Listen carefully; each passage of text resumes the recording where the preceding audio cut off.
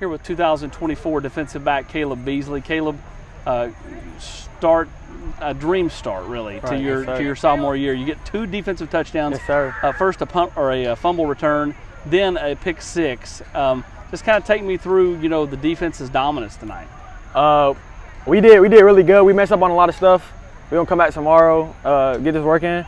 But uh, nah, our second team, our first team and second team did great. Couldn't ask for more. D line got home, so it was good. You talk about all you boys have kind of discussed like there's a lot to clean up on. You gave up seven points. I know. And the one score they did have, you had great coverage on. The guy just went up over and you made a nice Right, play. I right. mean, you know, you, you guys really, you know, kind of balled out tonight. Right. What what makes this defense a kind of a complete defense? Uh, the standard is a standard, as we say.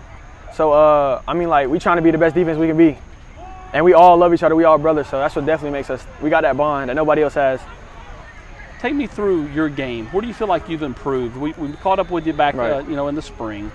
Um, you know, where, where do you feel like your games continue to get better? Uh, probably my speed, knowing and transition, uh, going from a fast speed to stopping on a dot. What do you, uh, you know, feel like makes you a good corner? My Now, you, the, you, you made one play, and one of your Right. teammates sees me filming you, and Right. he says, "Best corner in the state." You know, I mean, so like, you know, what, so what makes what besides what you just said? What what makes Right. you a, you know, complete corner? Uh, I mean, I'm a dog. I mean, I'm not gonna let nobody get no free catch on me. Uh, I'm competitive. That's about it. I'm competitive. All right, so you didn't come to Tennessee in June. Nah, How, how big of a priority is that to get there pretty quick this fall? no, it was. It's a big priority. I couldn't go because I had a game uh, here, so I couldn't go. But I'm definitely trying to get down there as soon as I can. How you know, have you talked with the Tennessee coaching staff here lately? Yeah, I have. They want to get me and my family down there.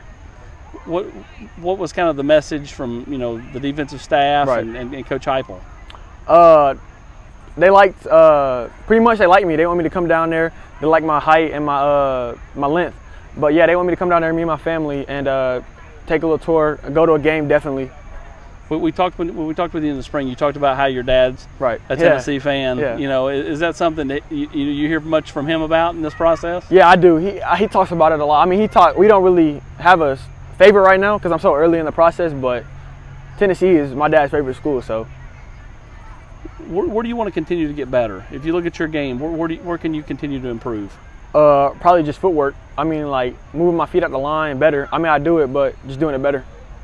Speed something you want to continue to improve yeah, definitely. too? Oh yes, speed definitely. Uh, I think I run like a four five now. I'm trying to get to like a four three, four four. Right, that's the latest on Kaleb Beasley here at Lipscomb. Sir.